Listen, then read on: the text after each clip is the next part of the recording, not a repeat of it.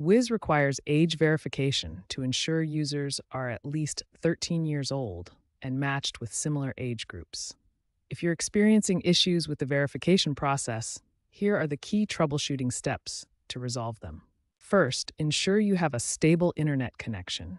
Try switching between Wi Fi and mobile data to see if the connection is causing the verification to fail. Next, make sure you're using the latest version of the Wizz app. Outdated versions may have bugs that prevent age verification from working properly. Clear the app's cache and data. Note that clearing data will log you out, but this often resolves verification issues caused by corrupted temporary files. Ensure the Wizz app has camera permissions enabled. Age verification requires camera access to capture your face for the AI analysis. During verification, use proper lighting and a plain background. The AI needs to clearly see your face to accurately estimate your age. If the previous steps don't work, try restarting the age verification process or reinstalling the entire app. This resolves most persistent issues. If none of these steps resolve the issue, contact Wizz support for assistance. Remember, the system uses AI technology from Yoti to estimate age, so technical issues may require their direct help.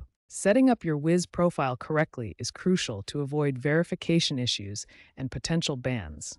The most important requirement is ensuring your profile picture matches the initial face scan used for age verification. Understanding why accounts get banned can help you avoid these issues. The most common reasons include fraudulent activity, impersonation, being underage, and receiving multiple reports from other users. The best way to avoid bans is simple. Be honest about your age and activity on the platform.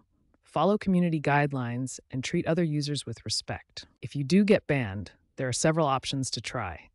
You can use a VPN to change your IP address, try using a different device, or submit an appeal to Wizz support explaining your situation. Be aware that Wizz collects user data including your location and uploaded content.